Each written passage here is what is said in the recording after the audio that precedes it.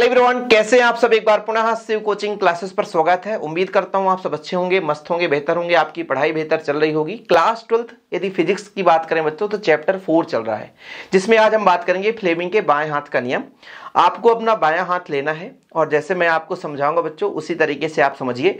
जब कभी हम बोर्ड में आगे चल के थ्योरम पढ़ते हैं तो उसको फिर हम समझाते हैं कि भाई यदि आवेश से गति करा, चुंबकीय क्षेत्र पर तो ये बल इसमें किधर लगेगा? और इस बल के कारण, जैसे मान लीजिए एक चालक तार उसमें धारा बह रही है, और चुंबकीय क्षेत्र है तो फिर उसमें बल किधर लगेगा? भाई आवेश बहता है, धारा बह रही तो मतलब आवेश बहता है तो उस बल के कारण वो लूप घूमने लगता है। तो फ्लेमिंग ने अपने हाथ के नियम से बताया भैया कि सिंपल है, आप अपना बायां हाथ लो। उन्होंने ये बताया मतलब एक तरीके से पूरा व्याख्या किया, लेकिन उन्होंने दिशा बताने के लिए अपने बाएँ हाथ का प्रयोग किया कि बाएँ हाथ में जो हमारा अंगूठा है, ठीक है ये तर्जनी और मध्यमा दिख रहा बच्चों? ऐसे में आपको दिखेगा, ठीक है? आपका अंगूठा है, ये तर्जनी मध्यमा तीनों दिख रहे हैं ना? आपका अंगूठा, तर्जनी मध्यमा इसको इस प्रकार फैलाओ कि परस्पर लंबत हो। मतलब हमारे पास ये तीन है, क्योंकि एक आपका चुंबकीय क्षेत्र है और एक आपके आवेश के गति की दिशा है और उस आवेश पर लगने वाले बल की दिशा को बताता है। मतलब तीन है यहाँ पे। अंगूठा, तर्जनी और मध्यमा। तो फ्लेमिंग ने क्या बताया? अपने बाएँ हाथ के अंगूठे, तर्जनी और मध्यमा को इस प्रकार फैलाओ कि परस्पर लंबत है। अब यदि ये जो हमारा तर्जनी है चुंबकीय क्षेत्र की दिशा को बता रहा है, और बच्चों, ये जो हमारा क्या है, ये मध्यमा है, ये आवेश के गति की दिशा को बता रहा है। तब इस पर लगने वाला बल अंगूठे की दिशा पे होगा। मतलब अंगूठा जो है, आवेश पर लगने वाले बल की दिशा को प्रदर्शित करेगा। आपको समझ में नहीं आया? फिर समझना।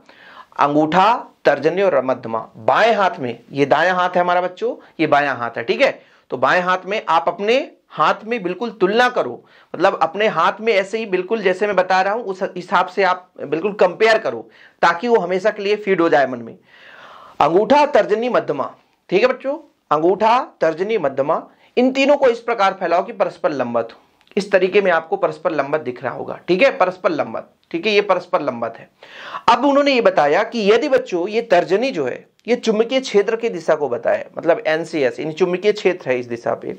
और इस चुंबकीय क्षेत्र पर एक आवेश लंबत कंपन करता है, क्योंकि समांतर, यदि चुंबकीय क्षेत्र के समांतर कोई आवेश गमन करता है तो उस पर बल ही नहीं लगते हैं। इसके लिए मैंने थ्योरम प्रूव किया था लारेंज बल के आधार पर, कि भाई साहब, यदि चुंबकीय क्षेत्र के समांतर कोई आवेश गमन कर रहा है तो उस पर बल ज़ीरो हो जाएगा क्योंकि साइन ज़ीरो का मान ज़ीरो हो जाता है। जब लंबत कंपन करता है तो साइन नब्बे का मान एक होता है तो क्यू भी, भी आया था मान। आप लोगों ने देखा होगा। तो यहाँ पे ये जब चुंबकीय क्षेत्र के लंबत आवेश कंपन कर रहा है तब इस पर जो बल है बच्चों ये ऊपर की ओर लगेगा। चूँकि लॉरेंज बल कार्य करता है लॉरेंज बल क्यू भी भी साइन थीटा होता है एफ़ बराबर क्यू भी भी साइन थीटा आवेश के परिमाण पर निर्भर करता है। और आवेश के वेग पर निर्भर करता है, चुंबकीय क्षेत्र पर निर्भर करता है और वेग और चुंबकीय क्षेत्र के बीच कोण। मतलब ये चुंबकीय क्षेत्र है और ये आपका वेग का दिशा है। तो इनके बीच कोण पर भी डिपेंड करता है। तो ये 90 डिग्री पर है। तो इस पर अधिकतम बल कार्य करेगा। तो बल की दिशा को फ्लेमिंग साहब ने बताया कि भाई साहब ये जो तर्जनी है चुंबकीय क्षेत्र को बता रहा, मध्यमा, आवेश के वेग को बता रहा आवेग की दिशा सॉरी आवेश के वेग की दिशा को बताता है, तब उस पर लगने वाला बल जो है अंगूठा प्रदर्शित करेगा। मतलब अंगूठा जो है आवेश पर लगने वाले बल की दिशा को प्रदर्शित करेगा। सिंपल है। चलो, मैंने पेन ले रखा है बच्चों। ये चुंबकीय क्षेत्र है, ठीक है? अब आपको समझ में नहीं आया तो ऐसे बताता हूँ। ये चुंबकीय क्षेत्र है। इधर चुंबकीय क्षेत्र। और इसके लंबत बच्चों, देखो, लंबवत, इसके लंबवत, ठीक है? चुंबकीय क्षेत्र के लंबवत। यदि आवेश गमन कर रहा है, तब इस पर जो बल है ऊपर की ओर कार्य करेगा। सिंपल और कुछ भी नहीं, क्योंकि लंबत ही कार्य करेगा। ठीक है? इसीलिए बच्चों, जब चुंबकीय क्षेत्र में आवेश गति करता है तो उस पर एक ऐसा बल कार्य करता है कि वो सीधे परवलय आकार में मुड़ने की कोशिश करता है, घूम जाता है। ओके? तो फ्लेमिंग के बाएँ हाथ के नियम को आप समझ गए? तर्जनी, मध्यमा अंगूठा, इस प्रकार फैलाओ कि परस्पर लंबत हो।